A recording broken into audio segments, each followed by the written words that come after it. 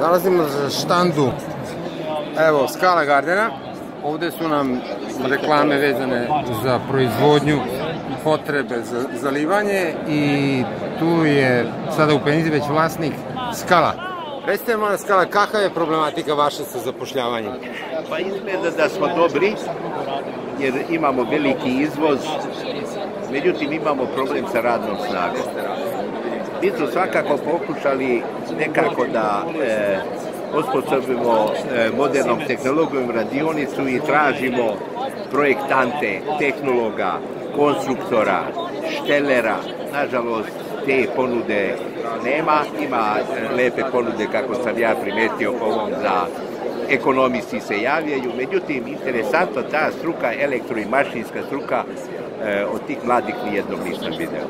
Šta to, šta to znači? Da oni već su rezervisani ili su otišli ili šta je situacija? Šta misliš? E, pa ja sam u kontaktu sa višom školom e, i par puta sam tamo ponudio i da ćemo stipendirati i da ćemo, međutim, to nekako nije imao odjeka, čak sam ponudio u jednom momentu da budemo radionica za praksu, e, pošto ipak su oni, nažalost, e, zaostali sa tim e, postrojenjima za obuku.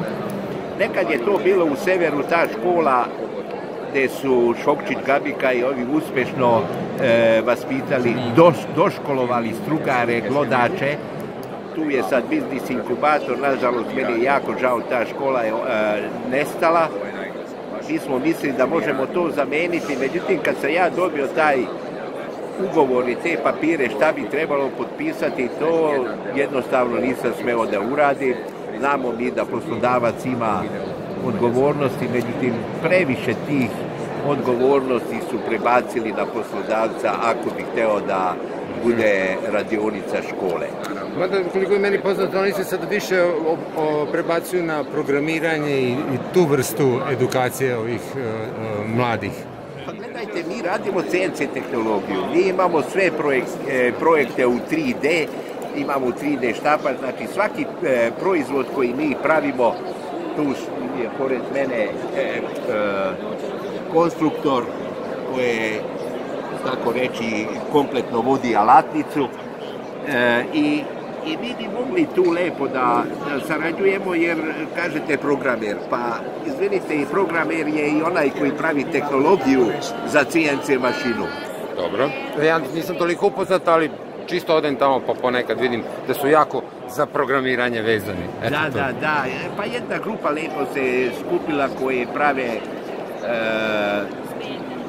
razne e, u 3D razne proizvode. Da, jeste, to je tačno. Međutim, to je problem tu kod nas. Ja sam čak i u to vreme, kad se rađao biznis inkubator, rekao ljudi, daj da biznis inkubator bude za one koji programiraju, a tu nisam e, podrazumao programiranje knjigovodstvenih i šta je znam, nego baš 3D e, program, tehnologija za CNC mašine.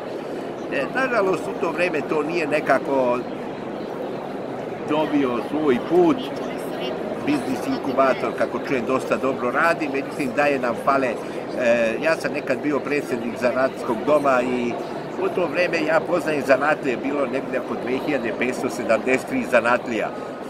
Svima su sinovi odrasli, svi su tu nekako sa nekim starim strugovima s kojim ne može raditi ni norma gupi, ni lokeru, ništa, a svi bi oni valjda preko sinova malo tamo ako imaju to neku zanatsku prošlost bi mogli da rade i onda to bi bilo jedna sigurnost i za sve te multinacionalne kompanije da imaju kooperante, a kad ima kooperante on se dobro osjeća.